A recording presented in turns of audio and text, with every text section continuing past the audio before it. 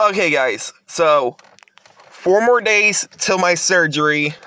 I am so nervous about it. Now, I know you're going to say in the comments, comments section, Greg, Ed, why are you nervous? Well, it's surgery, um, but I'll make it out.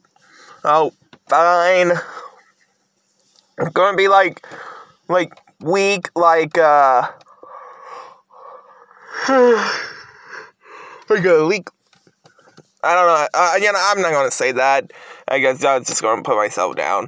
But I am gonna be stiff, like a stick, like, like, sort of move around.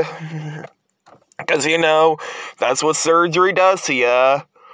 Cause I had surgery done multiple times. Got one out of my broken tooth, one on my toe, and that's all suddenly it. But anyway, guys, hope you guys like, comment, subscribe.